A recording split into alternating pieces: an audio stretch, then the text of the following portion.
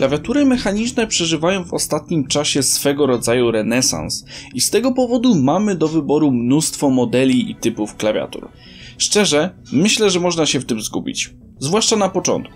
Dlatego dziś wpadłem na pomysł, żeby nagrać dla Was film, który nieco rozjaśnia temat, zwłaszcza jeżeli jesteś początkujący.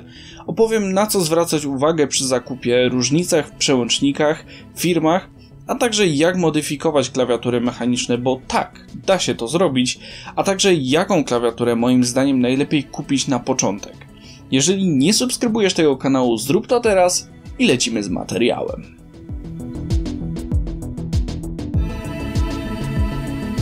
pierwszej kolejności warto się zastanowić nad tym, czym tak naprawdę jest klawiatura mechaniczna. Więc nasuwa się pytanie: jak to jest być skrybą? Dobrze? A, czekaj, to nie to. Wróć! W dużym uproszczeniu w klawiaturze mechanicznej każdy przycisk ma swój dedykowany przełącznik, który jest odpowiedzialny za przesyłanie sygnału do komputera. Klawiatura potocznie zwana zwykłą, czyli membranowa, najczęściej działa w ten sposób, że posiada trzy warstwy specjalnej folii, którą właśnie nazywa się membraną i to jej zetknięcie wywołuje przesłanie sygnału.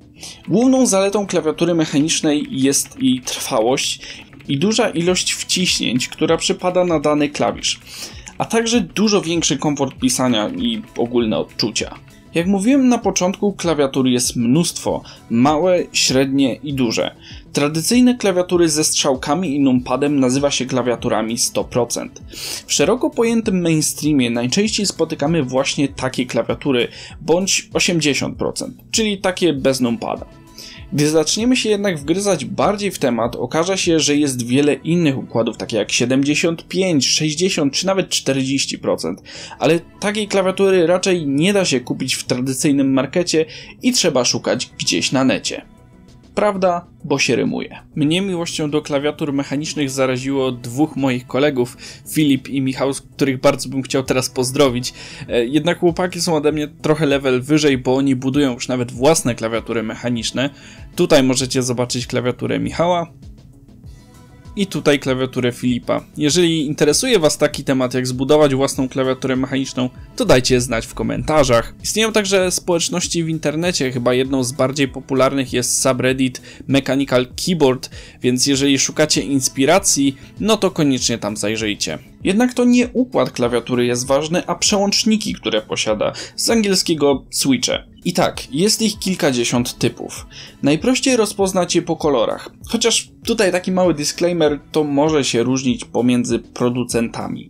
Jednakże zwykle wygląda to mniej więcej w ten sposób. Switche, które znajdziecie najczęściej to niebieskie, blue, są one w większości mainstreamowych klawiatur z takim charakterystycznym klikaniem i wymagają one nacisku 50 gramów. Brzmią one tak.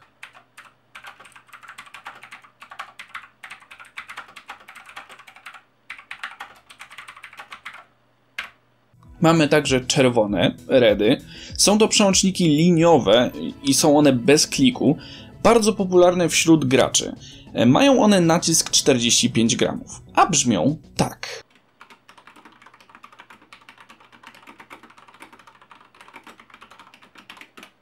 No i mamy także brązowe, browny.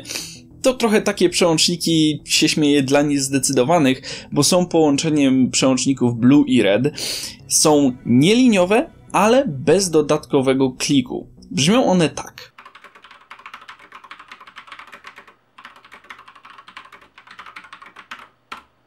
Oczywiście spotkać możemy jeszcze kolory takie jak czarne, zielone, przeźroczyste, ale w typowych marketach są one praktycznie nie do zdobycia. Warto tutaj wspomnieć, że niektórzy producenci produkują własne typy przełączników, jak na przykład Razer czy Corsair.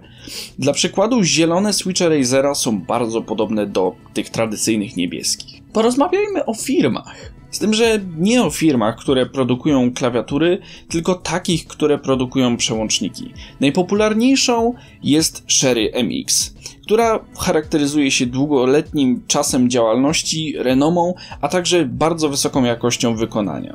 Większość droższych klawiatur korzysta ze switchy tej firmy. Są jednak także firmy pokroju Otemu czy Kali. I szczerze, jeżeli jesteś nowy w tym świadku, to nie będzie to miało dla ciebie bardzo dużego znaczenia. Bo w praktyce sprowadza się to do tego, że te różnice są dość subtelne i na początku bardzo ciężko je rozróżnić, bo to trochę tak jak z degustacją sera. Trzeba spróbować różnych, żeby móc potem rozróżnić ten lepszy ser od tego, który jest tylko dobry. I pewnie, szery będą lepsze. Więc jeżeli masz na to budżet, to nawet się nie zastanawiaj, tylko bierz szery. Co mi zawsze się mega podobało w klawiaturach mechanicznych, to to, że łatwo możemy sobie zmieniać przyciski i sprawić, że klawiatura staje się osobista. Kickupy, bo tak z angielskiego nazywają się klawisze, możemy kupić na portalach aukcyjnych. Ale to nie koniec, bo są wyspecjalizowane sklepy, które sprzedają profesjonalnie wykonane klawisze, a ba, nawet są artyści, którzy wręcz tworzą sztukę z takich kickupów, produkując po prostu takie cudeńka. No i są też całe pakiety, które możemy wyrwać na Gearbestie czy innym AliExpress. Jest wiele typów materiałów, z których w ogóle klawisze mogą być wykonane, ale ja skupię się tutaj głównie na dwóch. Dwóch tych najbardziej popularnych. Pierwszy to jest materiał ABS. To materiał, który znajdziemy w większości tańszych klawiatur i jest on po prostu gładki. Oraz mamy także materiał PBT, czyli taki bardziej chropowaty i charakteryzuje się on tym, że po prostu ma lepszą trwałość. Mamy także różne typy nadruków liter. Możemy mieć tradycyjnie nadrukowany na przycisk, który może się zetrzeć po czasie, mamy tak zwane ninja printy, czyli nadrukowane litery na ścięciu na boku klawisza, moim zdaniem to wygląda super. Mamy blanki, czyli po prostu puste klawisze bez nadruku oraz mamy takie fizycznie wyżłobione. Są one często przeźroczyste, tak aby było widać też podświetlenie klawiatury. Jaką klawiaturę kupić, żeby nie zbankrutować? Oj, trudne, trudne się wylosowało. Szczerze, jest to sprawa mocno indywidualna. Jeżeli w ogóle nie miałeś styczności z klawiaturami mechanicznych, to polecam Ci taki myk. Idź sobie do marketu i najlepiej poklikaj na różnych klawiaturach mechanicznych. Po prostu sprawdź, która klawiatura ma jakie switche. Będziesz wiedział, które po prostu switche ci najbardziej leżą. Z tym, że niekoniecznie może kupuj tam klawiaturę, ponieważ jest wiele alternatyw i można po prostu takie klawiatury mechaniczne kupić tanio. Na przykład jeżeli sprowadzimy ją z Chin. Dlatego stwierdziłem, że polecę w mainstream mocno i spróbuję wybrać bardzo tanią klawiaturę mechaniczną, która będzie z Chin, ale będzie przy tym naprawdę tania i dość spoko pod względem oferowanych funkcji czy jakości. I tak właśnie postanowiłem wybrać tego Motospeeda. Jest to wprawdzie zestaw z myszą, ale jeżeli byśmy, dajmy na to, odliczyli te 40 ziko zagryzonia, to cena wychodzi nam naprawdę bajerancko. Swoją drogą jest to klawiatura 100%. E, Parę miesięcy temu kupiłem dokładnie taką samą, tylko bez numpada, bo osobiście wolę rozmiar 80%. No i że sprawdzała się bardzo dobrze, to pomyślałem, że właśnie tą klawiaturę Wam polecę. Jest to klawa o rozmiarze 100% z przełącznikami firmy Kalich o kolorze niebieskim. Ma tradycyjny układ klawiszy, co fajne ma też przyciski funkcyjne do zmiany głośności, obsługi multimediów i inne tego typu pierdołki oraz ma mnóstwo efektów RGB, jeżeli Was to w ogóle cieszy.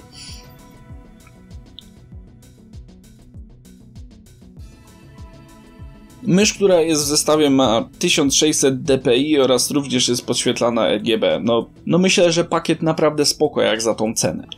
Jednak tak sobie pomyślałem, gdybyśmy w ogóle od razu polecieli bardziej hardkorowo i spróbowali podrasować nieco wygląd tej klawiatury, tak żeby był trochę bardziej niepowtarzalny? Sprawdźmy.